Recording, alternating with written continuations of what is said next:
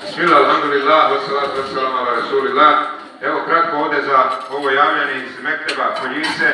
Mes, mis, šta znači mis? Me, Međus islamske zajednice Zerica. Po prvi put, znači ovdje u Mektebu sjelo za mektepsku djecu. Evo, mojih 34 godine radnog vijeka nisam nikad imao sjelo sa djecom Mekteba. Obično sa omladinom ili sa ljudima ženama. Evo, po prvi put nek odete u svijet da počnemo i ostali drugi da pravimo sjela za djecu i ovako da ih počestimo sa svačim ponešto i ćevapima i, ovim džisijama šta ima sve ovo večeras ovdje. A da kažem, da budem iskren, jedan me jučer zvao, pa velika je poslovi 100 eura da podijeli sa djeci, onda me on napovedio da ja malo više uložim u ovo naše večerašnje sjelo, kad ljudi imaju koji možda bolje od mene razmišljaju, a ne želi da se zna ko je taj Allahov rob, koji želi da časti djecu, da vole i džamiju.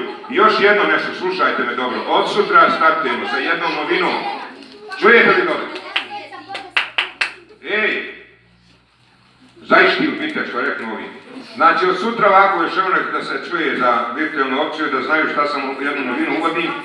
Znači, ko voli džamiju, moće da naplati što voli džamiju. Svaki odlazak ili dolazak u džamiji 25 peninga, zato što je 25 puta se vapnije klanjati u. Znači danas morate zaraditi sa 5 vakata, koliko? Po 25 peninga, marku i 25. Saba je pol marke, ko dođe na saba. Znači svak će sebi bilježiti u svoju teku koliko je puta bio u džematu. Jesmo razumeli, ko je došao u džamiju.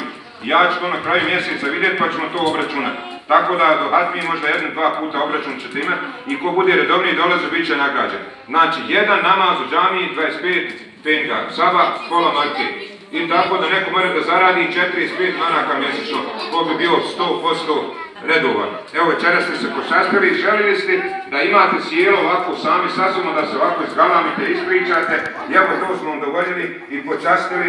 Eto, ovo je ljepota, pa nek se nek to usvijeti da se završim sa jednom izrekom jednog razmetlije, kad je rekao, on je volio zapisiva zapise, pa kaže, nekad je djecu učio, ako ne bi od onoga što sam djecu učio, Bog je kazao da će išta biti od onoga što zapisujem. Ja pišem knjige i hodam puno po džematima, držim predavanja, to je strada vjerska, Bog je kazao da će od toga išta biti, ja se nadam, zbog ove djece, zbog vas, da, da će mi se Bog smilovati, da će zaraditi Allahom milost, ovo je jedna velika garancija za Allahom milost za džennet, raditi sa ovom našom omladinom, da zavole džami, da zavole meteba, kad zavole oni će lako onda kasnije ići kroz život, pa da Allah ukabuli svima onima koji su učestvovali u ovom projektu večeras za ovo silno, za mekarsku djecu džemata Poljice. Amin. Evo sutra da znate, startujemo sa bilježnicama, svak sebi bilježi kad je došao u džamiju. I na kraju ćemo mjeseca vidjeti koliko imate vozova. 25 meninga, jedan namaz u džematu. Toliko. I na